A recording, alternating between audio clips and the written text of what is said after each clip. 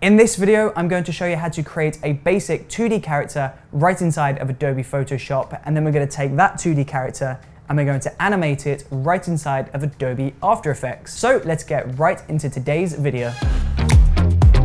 So we're going to start inside of Adobe Photoshop, and to begin we just want to start by unlocking the background. So we'll just press the padlock icon, and then we're just going to create a background. So I'm going to go to the gradient tool, and then we'll just change the color of the left and right of this line here.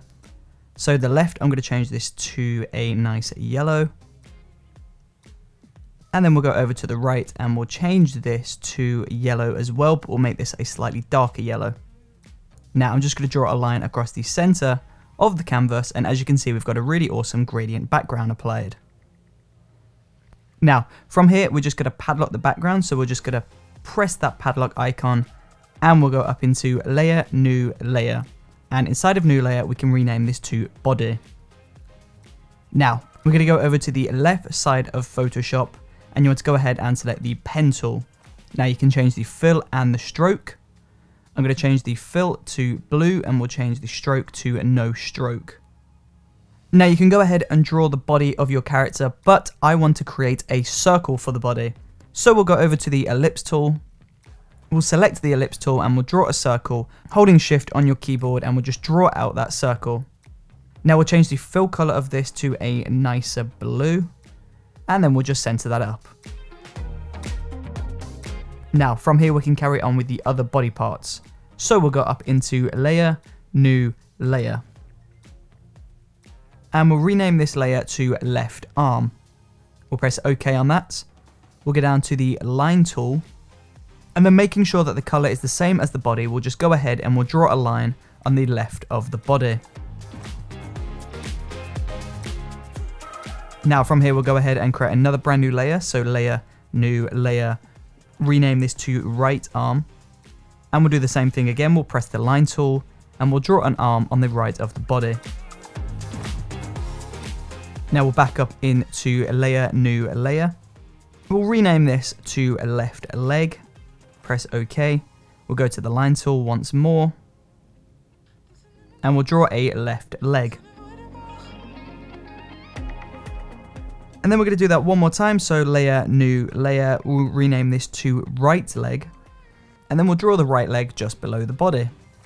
Now from here, I want to go ahead and create a face on this character. So I'm going to create an alien and I'm going to give this alien one eyeball. So again, layer, new layer, rename this to eye. Change the color of the eye to white. So that's the fill color.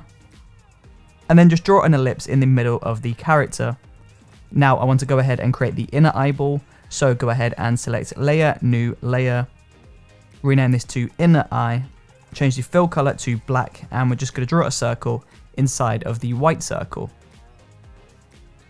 And there you go this is really starting to come together. Now there's one more thing that we need to do to finish this character off and that is to create a mouth. So we'll go layer, new layer, rename this to mouth, and then we'll go ahead and find the curvature pen tool. Now, we're going to slightly change the colour of this blue. We want this to be very similar to the blue that we have, but we want this to be a slightly different shade of blue so that we'll see it against the blue body.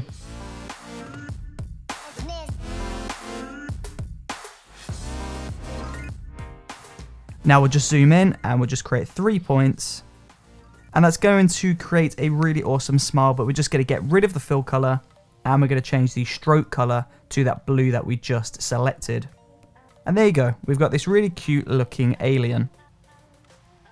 It's really important that when you're creating a character inside of Adobe Photoshop, that each individual part of the character has its own layer. So the left arm, the right arm, both legs, the eyeball, the inner eyeball, and the mouth and the body, they're all assigned to their own separate layer, and this is really important when we come to drop this into Adobe After Effects. Now from here we need to go ahead and export this character and drop him into Adobe After Effects. So we're going to go up into File, Save As, we'll change the format to Photoshop, and we can rename this to Alien, but feel free to rename it to whatever you like. Now, from here, we're going to go into Adobe After Effects and we're going to drop that alien PSD file into After Effects. And then when you drop that file into After Effects, you will get this menu come up and you want to make sure that you select editable layer styles in the import kind composition. This is really important because this means all of the layers will import as a separate layer rather than a merged layer. This is really important. Now, if you double click on that alien composition, you can see all of those layers are now there. So to begin with the animating process, I'm just going to start by locking off the background. I don't want to adjust the background, so we'll press the padlock icon on After Effects. Now, from here, we're going to select one of the arms. So we're going to select the right arm, and we're going to go up to the puppet tool. That's this pin on the top of After Effects. And we want to go ahead and we want to create three points on the arm.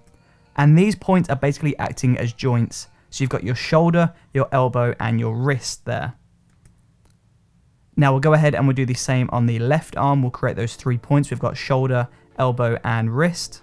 And now if I press the drop down arrow on the left and right arm, go into effects, go into puppet, mesh 1, deform, we've got puppet 1, puppet 2, puppet 3, and that's on both of those layers. So we're just going to open up all of those, and as you can see, a new keyframe has been created at the very beginning. Now in order to animate the character, we basically want to move forward in time, so we'll move forward 2 seconds to the right, and because we've created a keyframe at the very beginning, if we change the positioning of one of those points, the character will animate up to that point. So if you're familiar with adjusting keyframes to adjust position, scale or rotation, this is a very similar process. We're just adjusting the position of a specific point on the character. Now two seconds into the video, I'm just going to adjust the positioning of those points on the left arm. And as you can see, if we play this back, we've got this really slow moving, really basic arm movement. The alien is putting art the alien character is putting his arms above his head. But this is a little bit too slow, so we're just going to shorten the gap between those keyframes.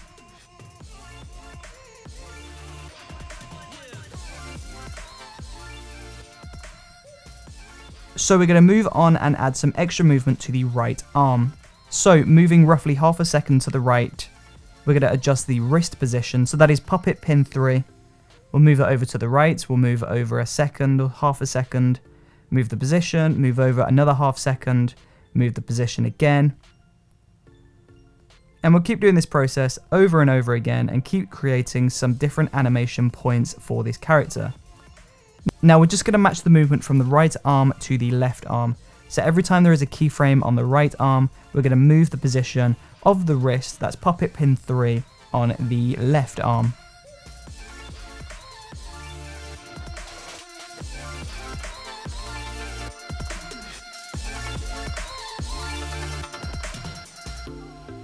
And as you can see, if we play this back, we've got this really basic arm movement. So the alien is putting his arms above his head and wiggling them from left to right.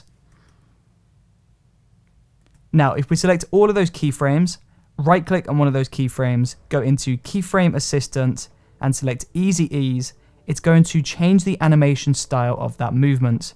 So it's a little bit more natural rather than just hard keyframes. So we'll do the same on the left as well as the right. And as you can see, we've got this really smooth movement from the character. Now the movement that we just created on the arms was a very basic and very simple animation. Of course you're welcome to do whatever you like with this. And of course you can add the same points to the legs and do similar leg movements. All you have to do is select the puppet tool, create those points and animate those points over time. But now we're going to go ahead and we're going to animate the eyeball. So we want to make sure that the eye and the inner eye are connected, we want to make sure that they move at the same time. So in order to do this, we need to create a brand new null object. So we'll go layer, new, null object. We can rename the null object to i null if you want, if you want to make things easier for yourself. And we'll drag that on top of the eye.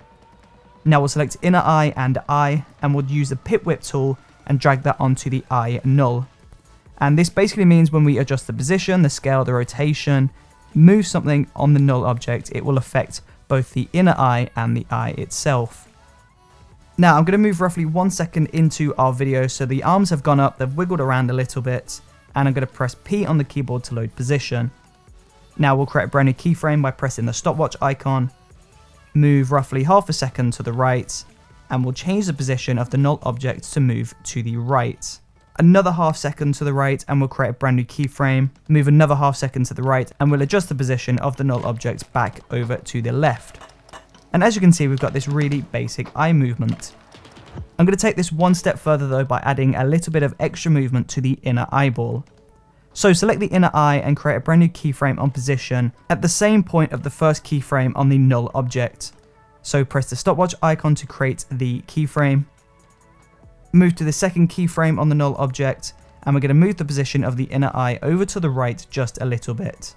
Move to that third keyframe, create a brand new keyframe, move to the last keyframe and we're just going to pull the position back over to the left.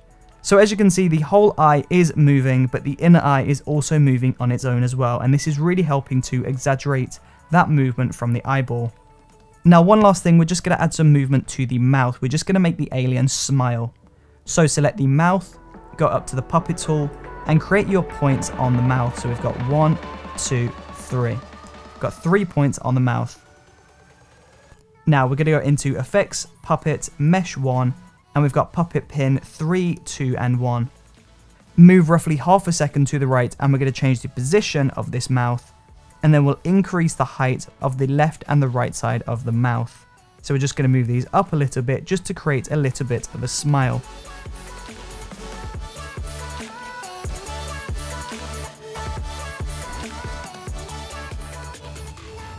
And there you go, once you've added in all of your keyframes, you've animated your character to how you want it to look, you want to go ahead and add one more finishing touch, and that is to add some motion blur.